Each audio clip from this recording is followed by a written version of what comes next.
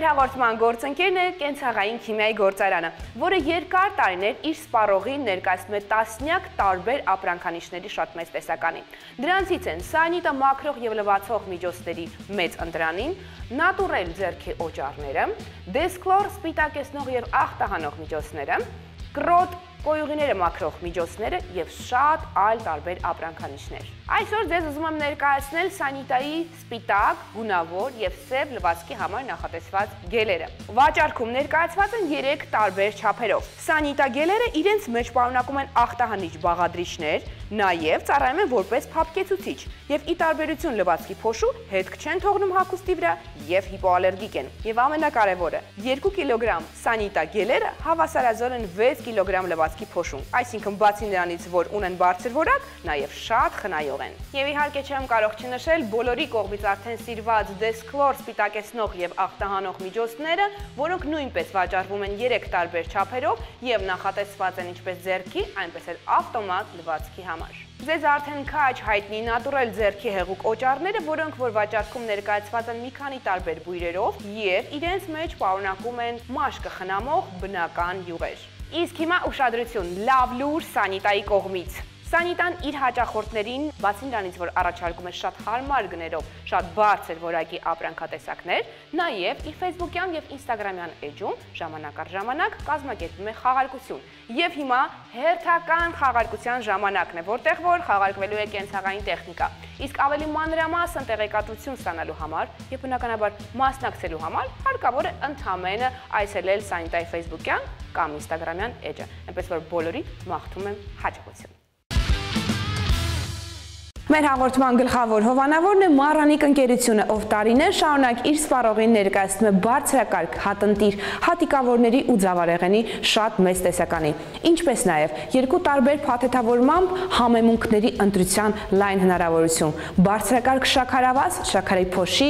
բաքսիմատ ու օսլա ու նաև նորույթ Մարանիկի կողմից հարմարավետ զիպ փաթեթավորմամբ կերակրի սոդա եւ կակաո փոշի, պես որ ընտրեք լավագույնը եւ վայելեք բարձրակարգը։ Ընտրյալ հատիկ համի գախնիկ։ Մարանիկ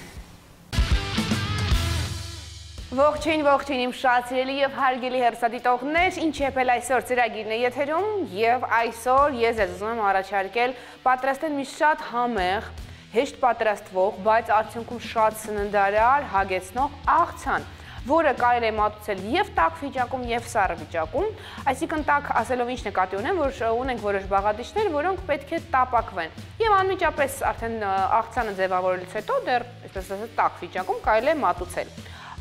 Երկու տարբերակով շատ-շատ համեղ կլինի։ Նաև ուզում եմ առանձնացնել այն փաստը, որ այս աղցանի համար շատ քիչ բաղադրիչներ են պետք,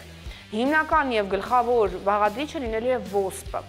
որը ես նախապես արդեն եփել եմ, ի սկզբանե մեզ հարկավոր է 1 բաժակ ոսպ, որը եփում ենք եւ այս տարբերակում Ես օգտագործել եմ լավագույն ոսպը, որը բացի նրանից, որ ինքը հատիկ-հատիկ շատ բարձր որակի է, այլ նաև շատ արագ եփվում է, եւ այստեղ իհարկե չեմ կարող չնշել մեջ գործընկերոջ կողմից առաջարկվող ոսպը եւ ոչ միայն ոսպը, այլ նաև հատիկավորների, բրնձի, համեմունքների շատ մեծ տեսականին իհարկե դա Մարանիկ ընկերությունն է, որը տարիներ շարունակ արդեն բոլորին ապացուցել է իր աշխատանքի գաղտնիքը։ Իսկ գաղտնիքը կայանում է նրանում, որ ընտրվում են հատնտիշ զավարեղեն, բրնձեղեն եւ հատիկավորներ առասարակ։ Այսպես, ուրեմն ոսպը արդեն նախապես եփված է եւ հիմա մենք անցնենք մյուս բաղադրիչների նախապատրաստմանը։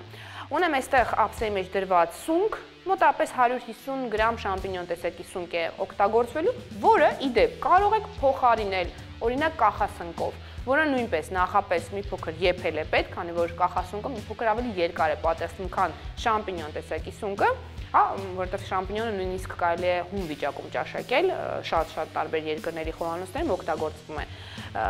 հում շամպինյոնը, հա, որպես բաղադրիչ։ Բայց տվյալ պարագայում իհարկե մենք տապակելու ենք, իսկ եթե ընտրեք կախասունկը, ապա այն նախապես մի փոքր կեփեք, այնուհետև այսպես թե այնպես տապակելու կարիք է լինելու։ Ունենք նաև սոխ մեկ հատ այս բաղադատոմսի համար, երկու գազար միջին չափի եւ համեմ։ Ուրեմն սկսենք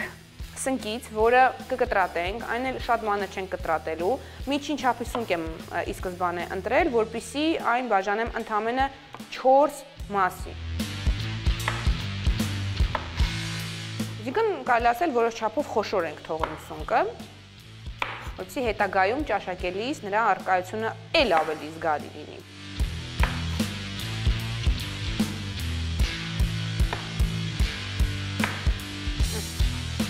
Սա այսպես Հիմա անցնենք գազարին։ Ինչը վերաբերում է գազարին, ապա ասեմ, որ գազարը, քանի որ միջին չափի է, ես ընդամենը երկու մասի եմ բաժանելու ու շերտատեմ։ Եթե ավելի խոշոր գազար եք օգտագործել, օրինակ 1 խոշոր, ապա 4 մասի եք բաժանում ու ելի շերտատում։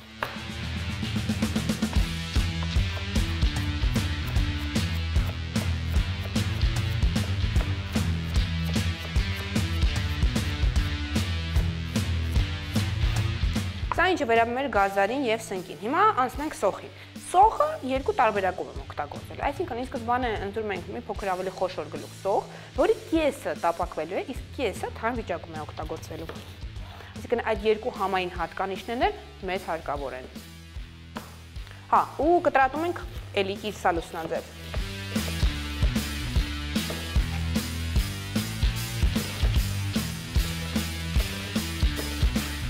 Այսպիսով, ինչ ենք անում։ Այս բաղադրիչները վերցնում ենք եւ արդեն գնում ենք գազօջախի մոտ։ Սկզբում բուսայուղով կտապակենք սոխը եւ գազարը, հենց որ տեսնեք, որ արդեն գույնը մի փոքր փոխվում է, արդեն կարող ենք ավելացնել սունկը։ Սունկը ավելացնելուն պես եւս մի քանի վայրկյան տապակում ենք, այդ ամենը բարձր կրակի վրա է տեղի ունենալու ու վերջ կարող ենք վերցնել կրակի վրայից ու շարունակել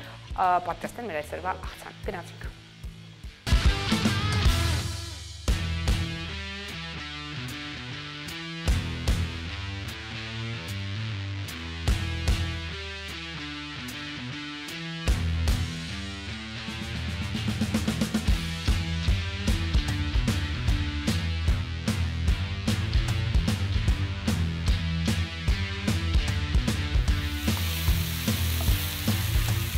եւ վերջ,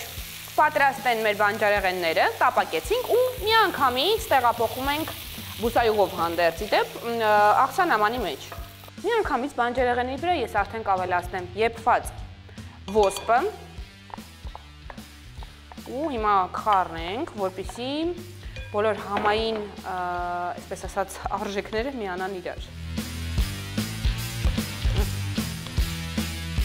Շարունակում ենք բաղադիշները ավելացնել։ Հիշում եք, չէ, կես սոխ էինք պահել հում վիճակում օգտագործելու համար։ Հիմա դա էլ կավելացնեմ։ Էլի բարակ կտրատում ենք կիսալուսնաձև։ Սա այսպես։ Նաև հիմա կկտրատենք համեմը։ Պոչիկները կոշտ հեռացնում ենք ու մանրացնում ենք։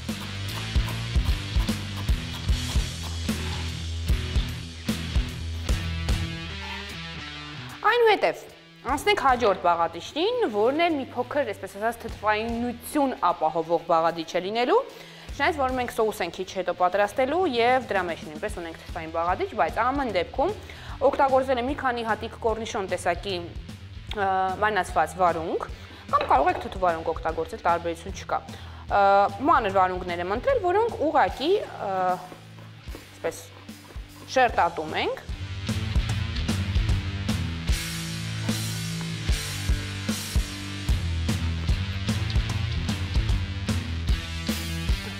ավելացնում ենք աղցանի բաղադրիչները։ Հիմա մի հատ խառնենք, որպեսզի բոլոր բաղադրիչները նոր կտրատված տարածվեն։ Այնքան գեղեցիկ ու անուշաբույր աղցան է ու շատ-շատ օգտակար։ Սա այսպես։ Հիմա անցնում ենք սոուսի պատրաստմանը, որը նույնպես բավականին հետաքրքիր է լինելու։ Այստեղ մեզ հարկավոր է ուրեմն 1 թեյի գտալ տոմատի մածուկ, որը անհրաժեշտ է բացել 1 ճաշի գտալ ջրով։ Ես դա արդեն արել եմ, որպեսզի ժամանակ չկորցնենք, եւ արդեն բնականաբար շատ ավելի թույլ զանգվածով է։ Հիմա այստեղ ավելացնում ենք հաջորդ բաղադրիչները։ Դա սխտորն է, որը ես հիմա կմանրացնեմ։ Մեկ պճեղ սխտոր է անհրաժեշտ։ Ցանկության դեպքում կարող եք չկիրառել, եթե օրինակ չեք սիրում սխտորի խամը կամ բույրը, բայց հավաստիացնում եմ, որ նման բաղադրության մեջ լրիվ ուրիշ ձև է հնչում սխտորը։ Խառնում ենք։ Այնուհետև այստեղ ավելացնում ենք մոտ 1 ճաշի գտալի չափով բալզամիկի քացախ, բայց ավել չօգտագործեք։ Եվ այդքան էլ սոյայի սոուս։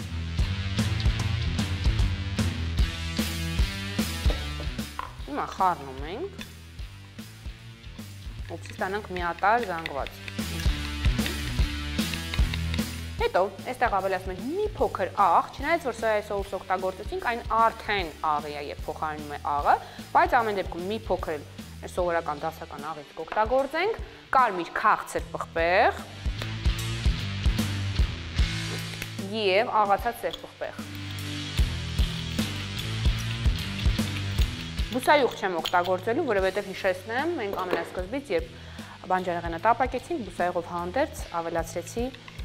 աղցանի արամանի մեջ եւ հենց վրան էլ ոսպ ավելացրեցինք։ Մի խոսքով։ Արդեն մոտեն մենք տրամաբանական ավարտին, վերջին շտրիխներն ենք անում, կարևոր, եւ ինչ ենք անում, սոուսը ավելացնում ենք մեր աղցանի վրա։ Մեզ մնում է այն լավ խառնել, որպեսզի սոուսը տարածվի, կարող եք հենց այսպես մի անգամից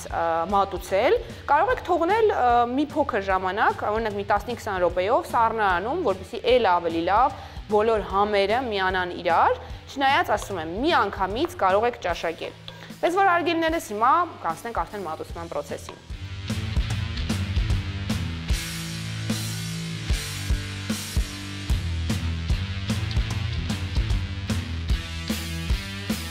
Եվ այսպես հարգելի ստետողներ, պատրաստ է մեր աղցանը եւ այն տեղափոխել եմ մատուցվող ափսեի մեջ, ամեն դեպքում դուք ամբողջ process-ին հետևեցիք, հուսամ հավանեցիք բաղադրատոմսը եւ ինչու՞ չէ, չեք զլանա, մի օր էլ կպատրաստեք ինչի համար ձեզ շատ շնորհակալ կլինեմ եւ ընդհանրապես շատ շնորհակալ եմ մեր բոլոր եթերներին հետևելու համար, ակտիվ քննարկելու համար, ձեր կարծիքներն արտահայտելու համար, դա շատ-շատ կարեւոր է մեր համագործակցության, այսպես ասած, համար։ Եվ Ինձ մնում է եւ մեզ, եւ ձեզ մաղթել բարի ախորժակ, լավ օր, բարձր տրամադրություն ու ասել, որ կտեսնվենք վաղը։ Ցտեսություն։